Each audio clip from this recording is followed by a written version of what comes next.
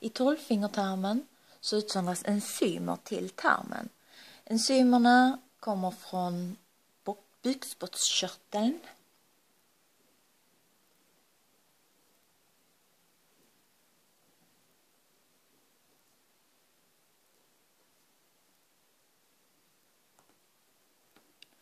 Och från bukspottkörteln eh, som sitter...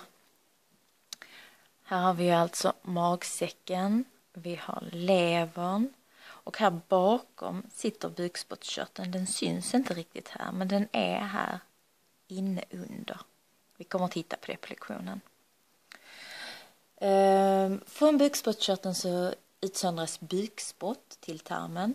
Bukspottkörteln har också andra funktioner att insöndra hormoner till exempel till kroppen men eh, i det här fallet så pratar vi om bukspottet. Också ett lite konstigt ord faktiskt. Eh, och bukspott tillverkas cirka eh, en och en halv liter per dygn. Det kan låta mycket men det här är ju kontinuerligt medan maginnehållet tar sig igenom tarmen. Eh, bukspottet är basiskt. Och då måste det vara för att neutralisera tarminnehållet. När det kommer från magsäcken så är det ju väldigt surt.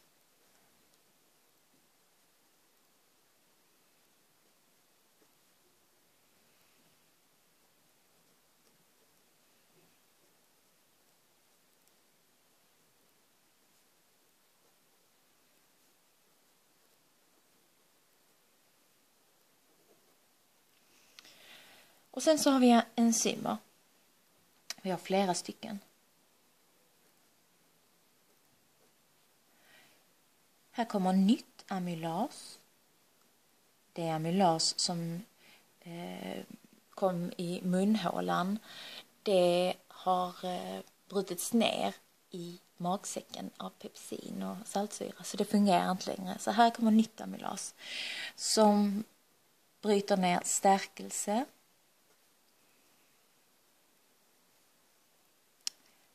till maltos. Sen finns det också trypsin och kymotrypsin.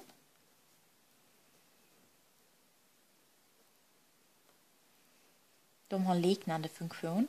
De bryter ner polypeptider. Alltså det som har blivit av proteinerna magsäcken till mindre peptider, kortare kedjor av aminosyror.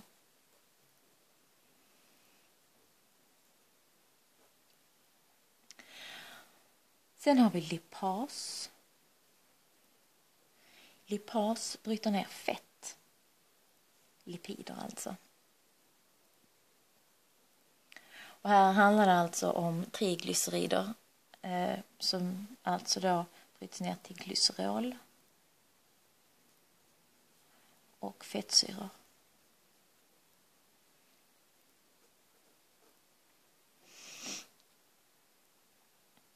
Slutligen så släpps här också ut peptid peptidaser.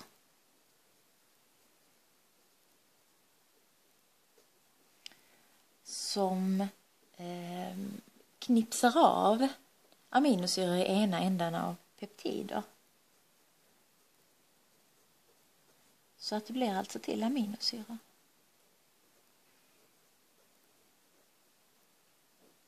Så det är många ämnen som släpps ut och de fortsätter att verka hela vägen sen eh, när maginnehållet eller tarminnehållet rör sig genom tunntarmen. Men förutom bukspott så släpps det också ut galla här i tolvfingertarmen. Galla kommer från gallblåsan. Jag ska skriva det först. Gallblåsa. Och galla, det är det som är lite grönaktigt. Det syns inte så bra här på bilden, men man kan ändå säga att det är något som, det ser lite blått ut här, men gallblåsan är de facto grön. Förhoppningsvis när vi gör dissektion senare så kommer ni att få se gallblåsor. Eh, och gallan det är alltså eh, 0,5 till 1 liter galla som produceras per dygn.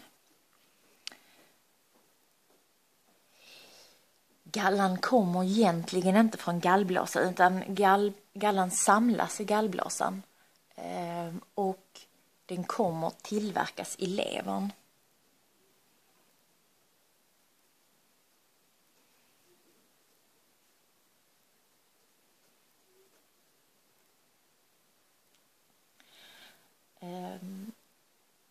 Men den lagras i gallblåsan så att det alltid är lite galla som eh, kan komma ut när det behövs. Eh, I gallan så har vi olika saker som har lite olika funktioner. Vi har ett ämne som heter bilirubin. Och det är det som färgar gallan. Eh, bilirubin är egentligen en, en ristprodukt som finns från levern då. Eh, för att eh, kroppen kan inte göra sig av med det på något annat sätt. Det är en rest från nedbrytning av röda blodkroppar.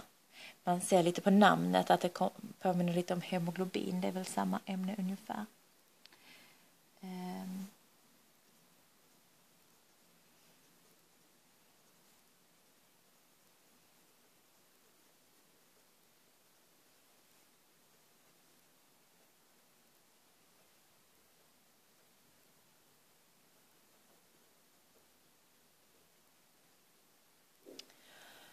Och det är det som färgar gallan grön och det är det som gör att avföringen blir brun.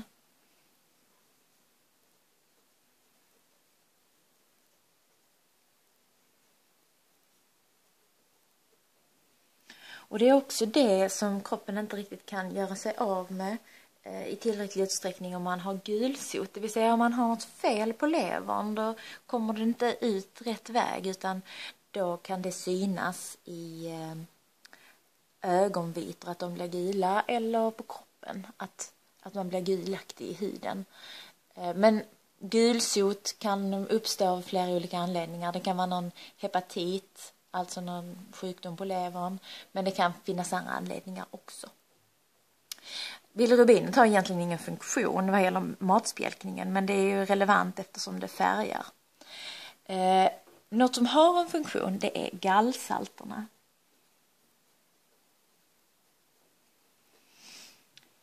Gallsalterna finfördelar fettet.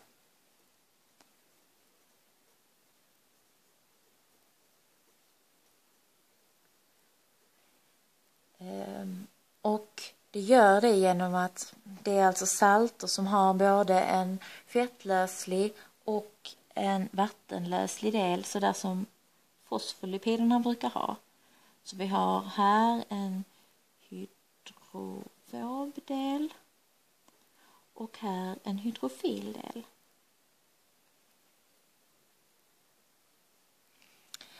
Och på så sätt så kan fettet lösa sig i den hydrofoba delen av flera gallsaltmolekyler och de hydrofila delarna kan bilda en utsida eh, så att man kan säga att det fungerar som ett emulgeringsmedel i eh, tarminnehållet. Det ser ut någonting sånt här om man skulle göra en schematisk bild av det. En sån här kallas för en micell. Och här har vi då fettet inuti här. Eh, och anledningen till att det gör det är då alltså för att eh, lipaset här ska komma åt fettet och kunna bryta ner det. Annars så skulle ju fettet lägga sig för sig själv och resten av vattenlösningen ligga för sig själv. Och då så skulle man inte, skulle inte lipaset komma åt att bryta ner det.